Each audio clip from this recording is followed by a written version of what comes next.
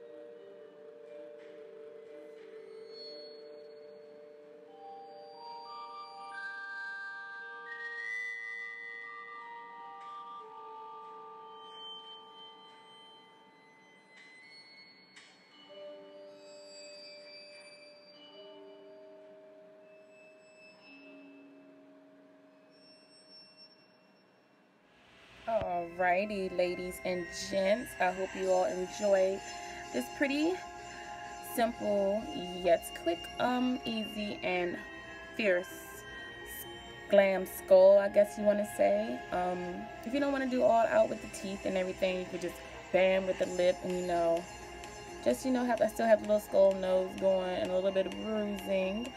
Um, and the only palette that I use today, and also I will re be reviewing, is Miss Jaclyn Hill's new um, Morphe palette. I believe this is, which one is this one? Dark? Dark Magic. All this is from this palette, the black and everything. Only thing that's not from the palette is, of course, the highlights and the black lipstick, which is from my local beauty supply store. And yeah, everything from Miss Jaclyn. So you guys, hopefully you guys enjoyed this quick look and you like the little Halloween music in the background. Leave some thumbs up, comment, subscribe to my channel, and tell me anything else you want me to do. Another color, do you want me to do the full teeth? Because I did do that. I just didn't record it, so I can record it just for you. So anyways, name is Dominique, and I am